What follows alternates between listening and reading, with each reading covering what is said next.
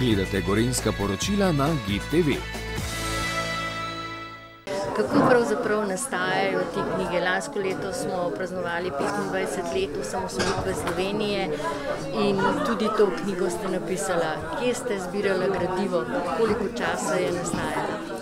Veste, pri nas bi lahko rekli, je tako, da knjige v glavnem nastajajo zato, ker je toliko podlage. Osnovno gradivo je bilo zbrano za moj doktorat. Od tu naprej pa potem izhajajo knjige o Jožetu Pučniku, o Francetu Bučarju, kakšni uvodniki o Francetu Tomšiču, o osamosvojitveni vladi.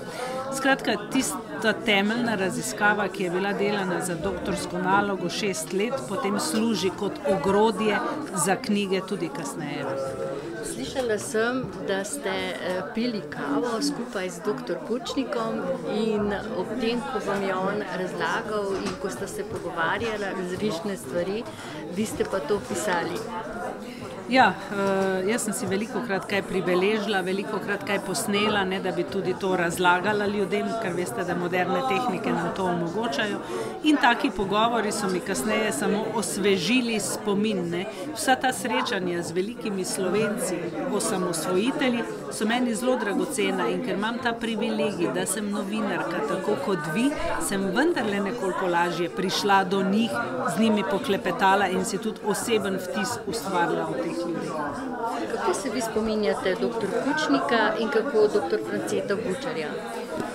Vsak po svoje sta bila krasna, izjemna, Pučnik bistveno bolj ek, eksploziven, bistveno bolj direkten, z njim sva se zelo hitro pomenila, razumela sva se v parih stavkih, sva pač iz približno istih koncev doma.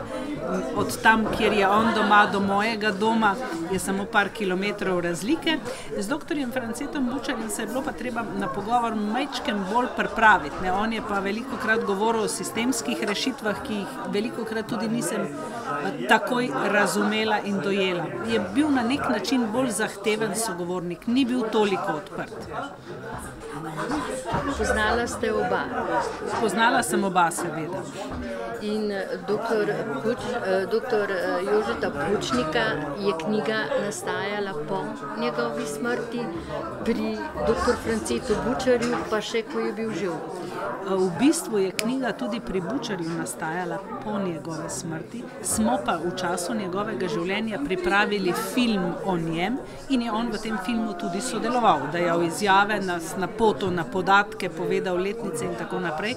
Medtem ko smo pri dr. Jožetu Pučniku to zamudili in je film o njem in knjiga o njem seveda nastajala po smrti.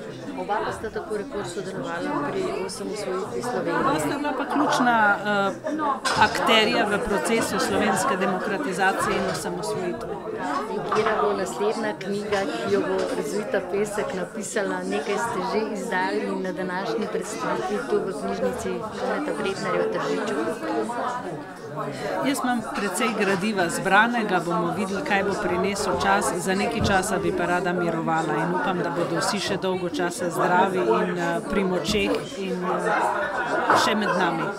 Nocoj ste prišli v Tržič, vežejo vas pa tudi nitke življenja tukaj na ta Tržič nekako. Ja, z gospod Marijo Ahačič Polak se osebno poznava. Malo me je tudi povprašala potem, kako sem jaz prišla do svojih knjig. Svetovala sem jim Horjevo založbo iz Celovca, kjer je tudi ona izdala svoje knjige, svojo knjigo.